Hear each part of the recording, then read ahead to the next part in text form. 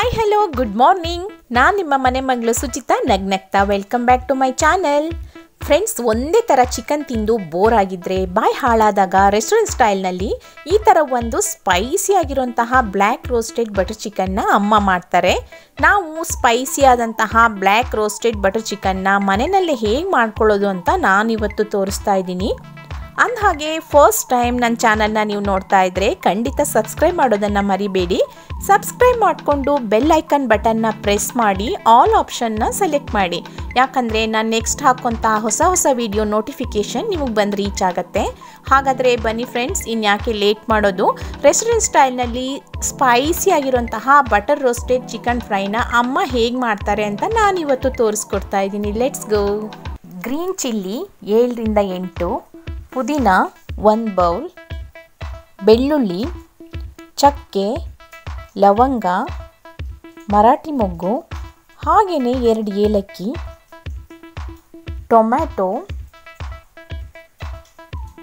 ಧನಿಯಾ powder, garam masala powder, red chilli powder. ಈರುಳ್ಳಿ cut ಮಾಡಿರೋದು ಒಂದು ಹಾಗೆಯೇ ಶುಂಠಿ. ಸೋಯಾ ಸಾಸ್ ಎರಡರಿಂದ ಮೂರು ಸ್ಪೂನ್, ಪೆಪ್ಪರ್ ಪೌಡರ್ ಒಂದರಿಂದ ಎರಡು ಸ್ಪೂನ್. ಇದು ನೋಡಿ ಬಿರಿಯಾನಿ ಎಲೆ. ಇದು ಹಾಕ್ಕೊಂಡ್ರೆ ಆರೋಮ ಸೂಪರ್ ಆಗಿರುತ್ತೆ. ಕೊತ್ತಂಬರಿ ಸೊಪ್ಪು ಒಂದು ಬೌಲ್.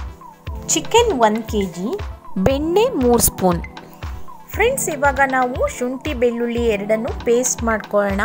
ಬೇಕಂದರೆ ನೀವು ಕುಟ್ಟಾಣಿನಲ್ಲಿ ಜಜ್ಕೊಬೋದು.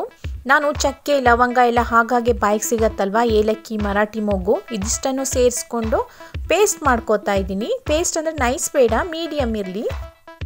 ನಾನು ಒಂದು ಪಾನ್ ಇಟ್ಕೊಂಡಿದ್ದೀನಿ. ಪಾನನ್ನು ಚೆನ್ನಾಗಿ ಹೀಟ್ ಆದಮೇಲೆ ನೀವು ತುಪ್ಪ ಬೇಕಂದರೂ ಹಾಕ್ಕೊಬೋದು, ಎಣ್ಣೆ ಬೇಕಂದರೂ ಹಾಕ್ಕೊಬೋದು. ನಾನು ಒಂದು ಮೂರು ಸ್ಪೂನಷ್ಟು ತುಪ್ಪ ಹಾಕೋತಾ ಇದ್ದೀನಿ. ಟೇಸ್ಟ್ ಚೆನ್ನಾಗಿರತ್ತೆ ಅಂತ. ಫ್ರೆಂಡ್ಸ್ ತುಪ್ಪ ಚೆನ್ನಾಗಿ ಕಾದ್ಮೇಲೆ ನಾವು ಈರುಳ್ಳಿನ ಹಾಕ್ಕೊಳ್ಳೋಣ. ಈರುಳ್ಳಿ ಹೊಂಬಣ್ಣ ಬರೋವರೆಗೂ ತುಪ್ಪದಲ್ಲಿ ಚೆನ್ನಾಗಿ ಫ್ರೈ ಮಾಡಬೇಕು. ಲೋ ಫ್ಲೇಮಲ್ಲೇ ಫ್ರೈ ಮಾಡಿ, ಯಾಕಂದರೆ ತುಪ್ಪ ಹೊತ್ತೋದ್ರೆ ಸ್ಮೆಲ್ ಚೆನ್ನಾಗಿರೋದಿಲ್ಲ.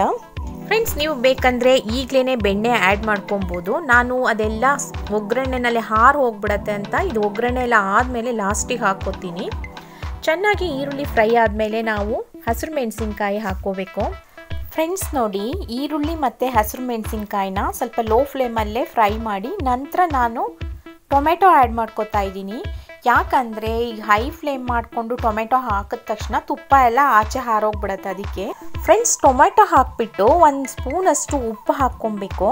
ಟೊಮೆಟೊ ಮತ್ತು ಈರುಳ್ಳಿ ಬೇಗನೆ ಬಾಡಬೇಕು ಮೆಲ್ಟ್ ಆಗಬೇಕು ಟೊಮೆಟೊ ಅಂದರೆ. ಒಂದು ಸ್ಪೂನು ಉಪ್ಪು ಹಾಕ್ಕೊಂಡು ಮುಚ್ಚಿಟ್ಕೊಂಡ್ರೆ ಬೇಗನೆ ಮೆಲ್ಟ್ ಆಗಿಬಿಡತ್ತೆ. ಫ್ರೆಂಡ್ಸ್, ತುಪ್ಪದ ಅರೋಮ ಗಮ್ ಅಂತ ಬರ್ತಾ ಇದೆ. ಉಪ್ಪು ಬೇಗ ಹಾಕಿದ್ರಿಂದ ನೋಡಿ ತುಂಬ ಚೆನ್ನಾಗಿ ಮೆಲ್ಟ್ ಆಗಿದೆ. ನಾನು ಲಾಸ್ಟಲ್ಲಿ ನೋಡಿ ಶುಂಠಿ, ಬೆಳ್ಳುಳ್ಳಿ, ಚಕ್ಕೆ, ಲವಂಗ ಪೇಸ್ಟ್ ಇದೆಯಲ್ಲ ಅದನ್ನ ಹಾಕೋತಾ ಇದ್ದೀನಿ. ಒಂದು ಸಾರಿ ನೀವೇನಾದರೂ ಈ ಚಿಕನ್ ಫ್ರೈನ ಟ್ರೈ ಮಾಡಿ ನೋಡಿದ್ರೆ ವೀಕ್ಲಿ ಒನ್ಸ್ ಇದೇ ಚಿಕನ್ ಫ್ರೈ ಮಾಡಿ ಅಂತ ಹೇಳ್ತೀರಾ? ನೋಡಿ ತುಂಬ ಚೆನ್ನಾಗಿ ಮೆಲ್ಟ್ ಆಗಿದೆ. ಟೊಮೆಟೊ ಇದೆ ಅಂತಲೇ ಗೊತ್ತಾಗ್ತಾ ಇಲ್ಲ. ನೋಡಿ, ಇದು ಬಿರಿಯಾನಿ ಎಲೆ. ಇದನ್ನು ನಾನು ಚಿಕನ್ ಫ್ರೈಗೆ ಎರಡು ಪೀಸ್ ಹಾಕೋತಾ ಇದ್ದೀನಿ.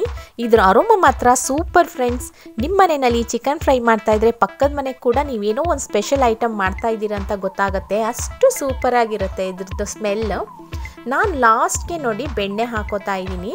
ಬೆಣ್ಣೆ ಯಾಕೆ ಲಾಸ್ಟಿಗೆ ಹಾಕೋತಾ ಇದ್ದೀನಿ ಅಂದರೆ ಸುಮ್ಮನೆ ಫಸ್ಟೇ ಹಾಕ್ಕೊಂಡ್ರೆ ಎಲ್ಲ ಹೊತ್ತೋಗ್ಬಿಡತ್ತೆ ಅಂತ ಹೇಳಿಬಿಟ್ಟು ಅದರ ಅರೋಮನೆ ಇರಲ್ಲ. ಅದಕ್ಕೋಸ್ಕರ ಬೆಣ್ಣೆನ ಲಾಸ್ಟಿಗೆ ಹಾಕೋತಾ ಇದ್ದೀನಿ. ನಾನು ಮೂರರಿಂದ ನಾಲ್ಕು ಸ್ಪೂನ್ ಹಾಕೋತಾ ಇದ್ದೀನಿ. ನಿಮಗೆ ಎಷ್ಟು ಬೇಕೋ ಅಷ್ಟು ಹಾಕ್ಕೊಳ್ಳಿ. ಎಷ್ಟು ಹಾಕಿದ್ರೂ ಚೆನ್ನಾಗಿರುತ್ತೆ. ಫ್ರೆಂಡ್ಸ್ ನೋಡಿ ನಾನು ಇವಾಗ ಚಿಕನ್ ಸೇರಿಸ್ಕೋತಾ ಇದ್ದೀನಿ. ಚಿಕನ್ ತೊಳೆದಿರುವಂತಹ ನೀರೇ ತುಂಬ ಇರುತ್ತೆ ಅದರಲ್ಲಿ, ನೀರಿನ ಅಂಶ. ಹಾಗಾಗಿ ನಾನು ನೀರು ಸೇರಿಸ್ಕೊಳ್ಳೋದಿಲ್ಲ. ಚಿಕನ್ನ ಹಿಂಡಿ ತೆಗೆದು ಹಾಕ್ತಾ ಇದ್ದೀನಿ.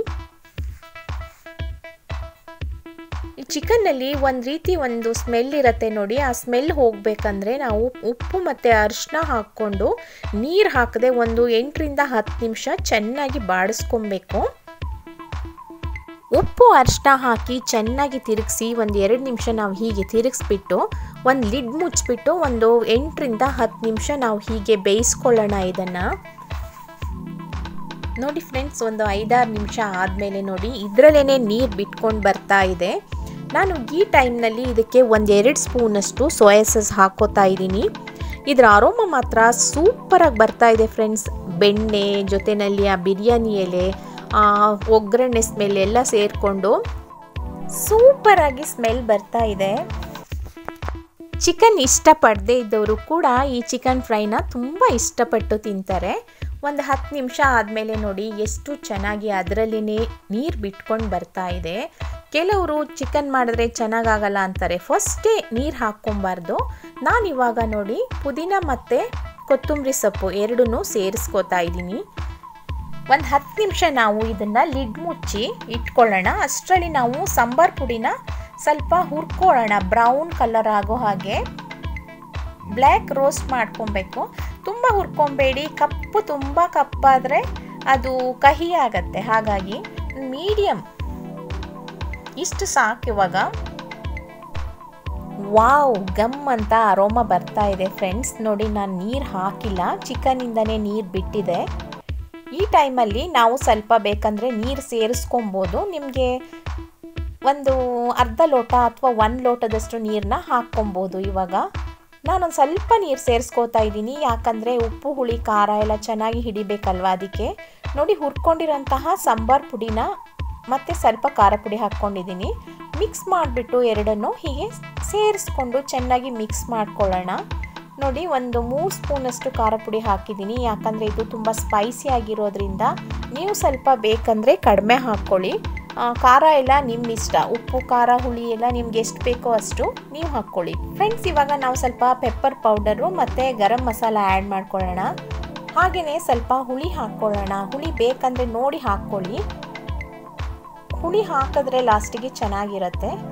ಪೆಪ್ಪರ್ ಪೌಡರ್ ಮತ್ತು ಗರಂ ಮಸಾಲ ಎಲ್ಲ ಹಾಕಿರೋದ್ರಿಂದ ಇದೊಂದು ಸ್ಪೈಸಿಯಾಗಿ ತುಂಬ ಚೆನ್ನಾಗಿರುತ್ತೆ. ನಾನು ಗರಂ ಮಸಾಲ ಒನ್ ಸ್ಪೂನ್ ಹಾಕ್ಕೊಂಡಿದ್ದೀನಿ ಪೆಪ್ಪರ್ ಪೌಡರು ಗರಂ ಮಸಾಲ ಎರಡು ಆ್ಯಡ್ ಮಾಡಿಕೊಂಡು ರುಚಿಗೆ ಎಷ್ಟು ಬೇಕು ಉಪ್ಪು, ಹುಳಿ, ಖಾರ ಹಾಕ್ಕೊಳ್ಳಿ.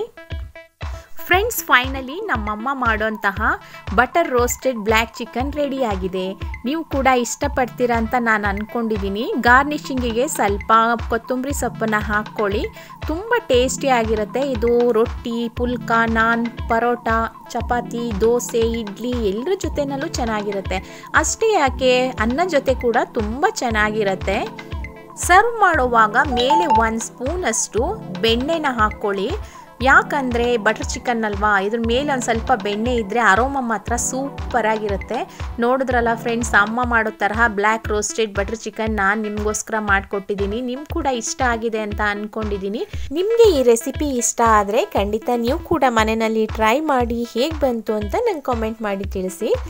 ಓಕೆ ಫ್ರೆಂಡ್ಸ್ ನಾನು ಮಾಡಿರೋಂತಹ ಈ ರೆಸಿಪಿ ನಿಮ್ಗೆ ಇಷ್ಟ ಆಗಿದೆ ಅಂತ ನಾನು ಅಂದ್ಕೊಂಡಿದ್ದೀನಿ ಪ್ಲೀಸ್ ನನ್ನ ಚಾನಲ್ನ ಸಬ್ಸ್ಕ್ರೈಬ್ ಮಾಡ್ಕೊಳ್ಳಿ ವಿಡಿಯೋ ಲೈಕ್ ಮಾಡಿ ಹಾಗೆಯೇ ರೆಸಿಪಿನ ಶೇರ್ ಮಾಡಿ. Till then, take care. Bye bye. Keep smiling always.